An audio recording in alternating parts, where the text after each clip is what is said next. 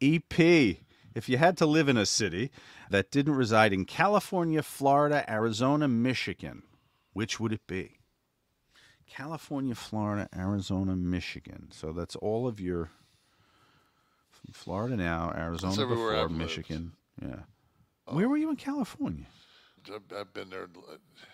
Longest yard was 120 days. Yeah, that's practically like living Yeah, there that's, that's that's that's enough. How about I throw out some names? You say yes or no. Seattle? No, No. Anything in Texas? Dallas, Houston, no, Boston. Too cold. I was going to say you have to deal with the weather a little. I could live in Taos, New Mexico. Why? It's going to be hot as balls down there. New Mexico? No, it's a, it's in the northern. It's I think Julia Roberts has got a crib there. I could live in Vegas probably.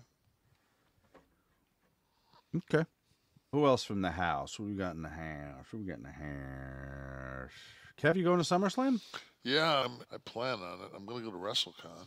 Okay. I'm on the poster. I used to like get good billing on the poster. Now I'm in the background because I have, I've no showed the last couple. Just don't want to yeah, commit to that. Yeah. I love it. Put Nash in the back. He might show up. Oh, God. Sorry.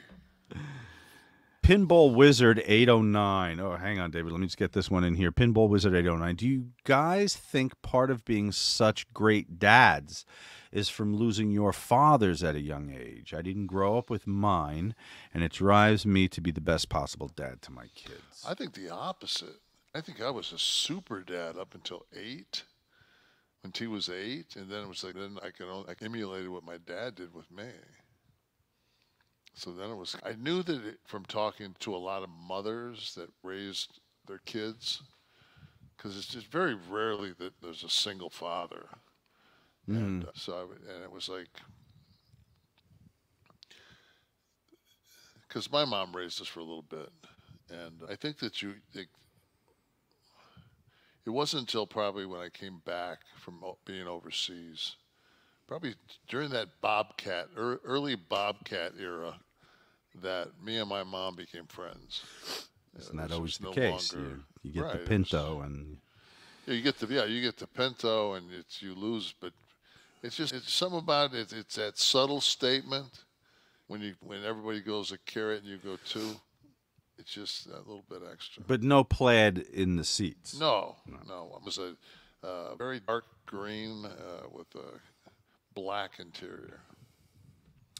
I don't know the answer to that, Pinball Wizard. It's worth thinking about. There's certainly never anything conscious that crosses my mind about my father's parenting. Where there's times I hear myself and I'm like, Jesus Christ, you sound like a parent. You got to stop this.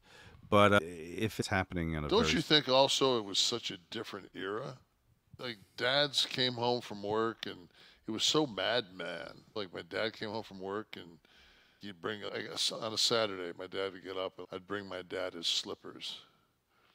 Be Yeah, you see, I he'd didn't- s- he'd be sitting at the table, and then after dinner every night I used to sit in my dad's lap. Oh, see, that's cool.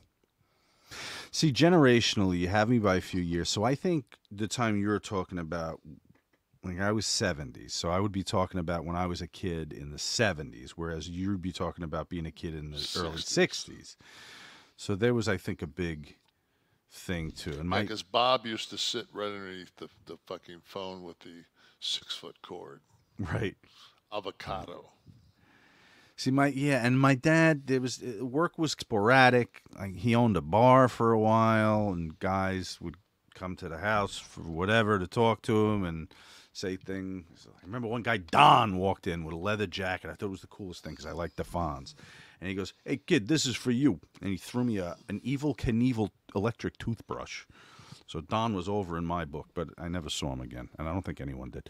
But uh, so it was. Uh, a less normal home in that respect. There were no slippers. There was no time that he was home. The uh, drinking frequently. So I thought everyone's parent went through a liter of vodka a night.